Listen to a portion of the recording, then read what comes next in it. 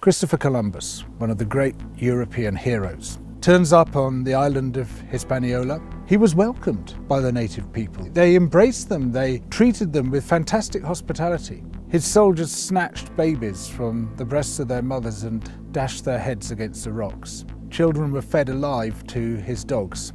Women's breasts were cut off. He decided to hang 13 of the Native Americans in Hispaniola to recreate the crucifixion of Jesus, oh, plus the apostles. It's true that the majority of people died there of disease, diseases introduced by the Europeans unwittingly, but many others were driven to death through overwork, direct murder, through starvation as their resources were taken away. Columbus insisted that everybody bring him a certain amount of gold, and those who failed to do so had their hands cut off.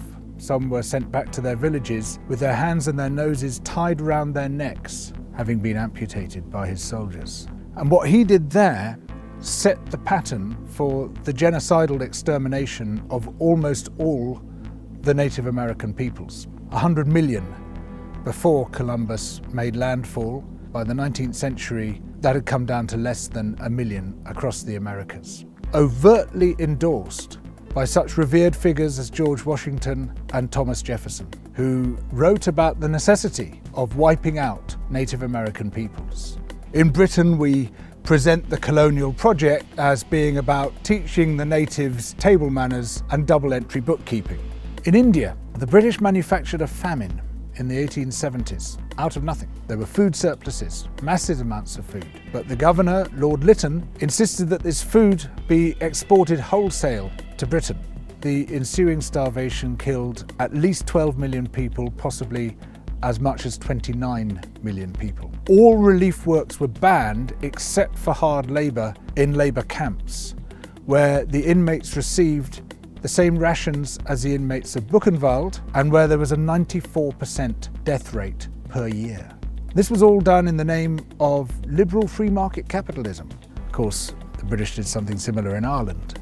In Kenya, soon after the Second World War, there was an uprising by the Kikuyu people who wanted their land back. The Kikuyu were herded into concentration camps and fortified villages, almost the entire population of over a million people. People were systematically tortured to death. They invented a new kind of pliers whose purpose was first to crush men's testicles and then to cut them off. They raped women with bayonets they raped men. Similarly, a favoured technique was to ram sand up the rectum with a stick. Sometimes they were rolled up in barbed wire and kicked around the compound until they bled to death. Some of the British soldiers boasted about this. This is within living memory. The Colonial Secretary lied about it. The papers documenting it were burnt.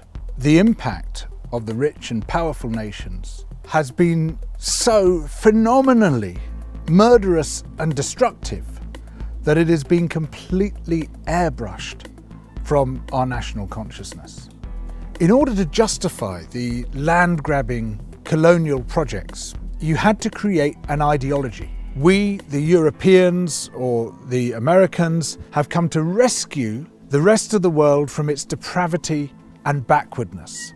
But in order to do that, you have to be able to demonstrate that the rest of the world is depraved and backward. From this, arose the racism that is still with us today. It was a necessary component of the colonial project.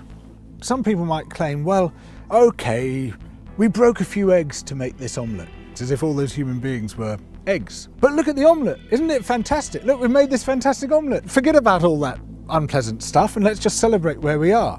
Where we are is a continuation of the project. We commodified people's land and people's labour and turned it into our property. We're also destroying the rest of the living world alongside it. We don't have to be like this. We are the same human beings as anybody else. We're all part of the same big human family. We just have to recognize that, accept that. And of course, within Western countries, there are plenty of brilliant people resisting colonization, both internal colonization within our own countries and external colonization of other people's countries. These are the voices which must come to the fore, those who emphasize altruism and kindness and generosity and empathy for others, those who recognize that skin color and any other difference of language, of religion, of background is completely irrelevant by comparison to what we share, which is our humanity.